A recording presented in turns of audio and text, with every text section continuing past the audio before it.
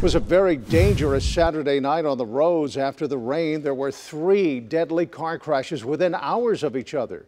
The most recent was early this morning on I-40 West between the Kingston Springs and McCrory Lane exits.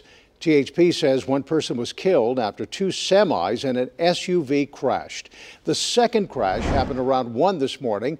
This is on Highway 96 in Rutherford County. THP says that crash was also deadly. The road was shut down for some time. Right now, we're working on learning more details.